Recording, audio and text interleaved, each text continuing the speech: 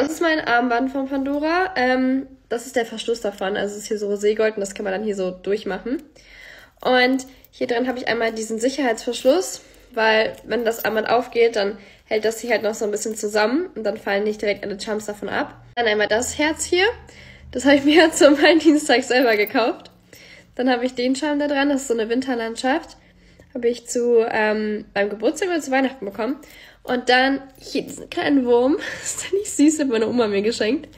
Hier ist Aristocat. Erinnert mich ein bisschen an Linda.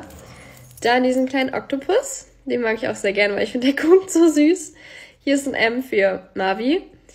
Und dann ist hier noch der dran, das ist Winnie Pooh. Zu meinem Geburtstag bekommen. Da hat so ein kleines Partyhütchen auf. Sieht man den überhaupt genau? Und dann ist hier drauf, steht da Happy Birthday. Und hier ist noch so ein kleiner Honigtopf. Genau, und das ist mein Armband.